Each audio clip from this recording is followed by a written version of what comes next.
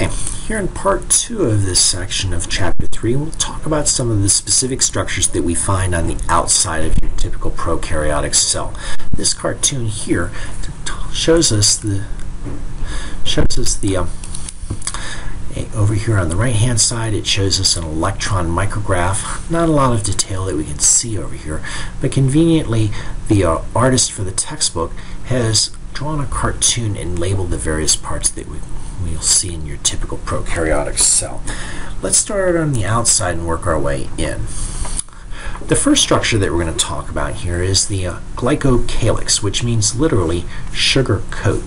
It's an optional structure that's found on some prokaryotic cells but not on others. We can use the presence of that glycocalyx as a, a tool to help us to try to identify whether or not oh, a given microorganism might be what we think it is or not.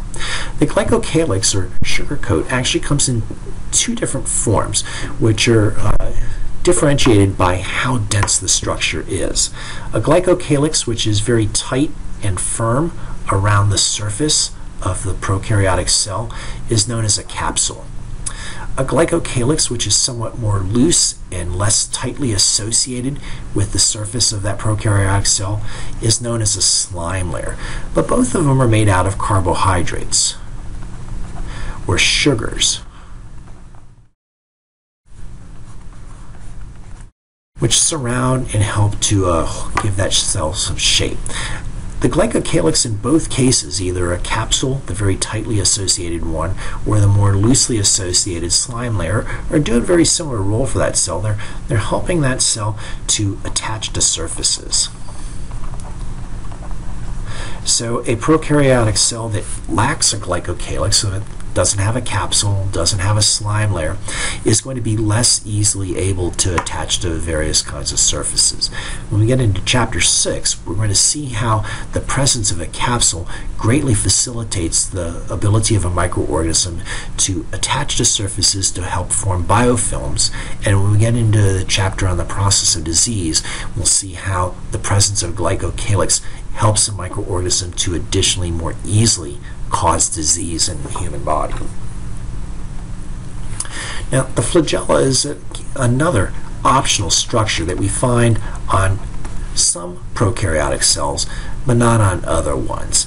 It's a structure that, as you can see here, kind of extends off the side, the surface of a prokaryotic cell, and in all cases, the flagella's role is to help the cell to move. Now, the textbook here actually goes into a lot of detail about the various parts of the typical prokaryotic flagella. I don't want anybody in this class to focus on any of the details. We won't be tested on the individual parts of what goes to make up this structure down here. The important take-home message is to know that uh, the bulk of the flagella is made up of a single protein called flagellin, pretty easy to remember. And another protein which is found all the way down here, which is called ATPase. Now, as you might guess, what an enzyme called ATPase does is, it carries out this reaction. It hydrolyzes ATP to form ADP and free phosphate. The, another thing that's released during the hydrolysis of ATP to ADP is the release of energy and that release of energy gets translated into the energy of motion, and this flagella begins to spin around and around around this basal body right here. The flagella begins to spin. This rotational motion enables the microorganism to then move through the environment as the flagella works like a little propeller. In these three pictures, we can see that different microorganisms have very distinct and unique patterns of flagella attached to them. Uh, some microorganisms may have only a single flagella at the end. We refer to these as a polar arrangement of flagella.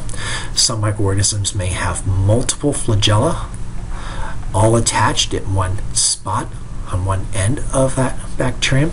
But other species of bacteria may have flagella which are arranged all around the periphery, all around the outside of that microorganism. In every case, the flagella begin to rotate because of the action of that ATPase, and the microorganism begins to move as it swims because of the action of the flagella. certain spiral bacteria called spirochetes have a single flagella, but the flagella is not immediately obvious when we look at the microorganism under the microscope. The flagella is actually very tightly wrapped around the surface of this microorganism. It's wrapped and becomes actually part of the surface of this microorganism. But it does the same thing. ATPase causes this structure to spin, and it spins along the surface of the microorganism, and this results in a corkscrewing motion as this microorganism begins to move through its environment. Uh, the movement of a microorganism through uh, its environment uh, can be in response to a number of different uh, chemical cues, this idea of response to things out in the environment that all cellular life is able to exhibit. If we talk about an organism moving towards or away from a chemical, uh, we refer to this process as chemotaxis. Um, organisms may be attracted to certain chemicals that perhaps the organism might want to obtain more of. Uh, we refer to this process as chemoattraction. Uh, likewise, some microorganisms may be repelled away from certain chemicals and move away from them. We refer to this process as chemorepellent. Uh, organisms can be responsive to things not chemicals, they may be responsive to things like light. We refer to this process as phototaxis, and certain organisms may move towards or away from a light source depending on whether or not they might use it. Um, the movement of microorganisms uh, is actually rather random. Uh, so one process that goes on is the, this process of tumbling that we can see over here on the left, in which case the flagella on the surface of the microorganism spin in essentially random directions from one another. This uh, has a result that the microorganisms begins to uh, point randomly at different directions in the environment. Uh, this tumble movement is uh, alternated with running movement where all the flagella spin in unison, propelling the organism into a single direction. As the organism moves towards a chemoattractant, uh, the number of runs becomes more frequent than the number of tumbles, resulting in the movement of the microorganism gradually towards the attractive chemical. All right, so flagella enables the microorganism to move. And we can see several flagella on the surface of these round or these rod-like microorganisms.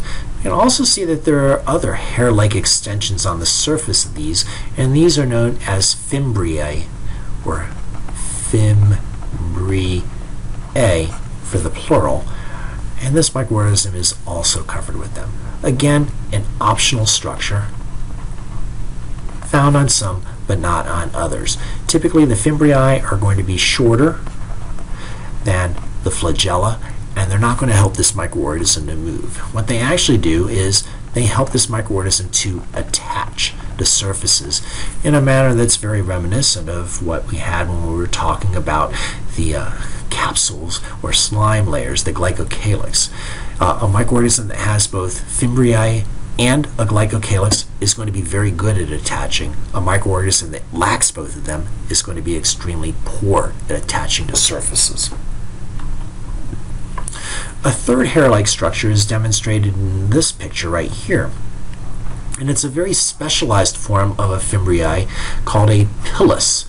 And we can see that this uh, pilus is actually helping this microorganism to attach to a second microorganism.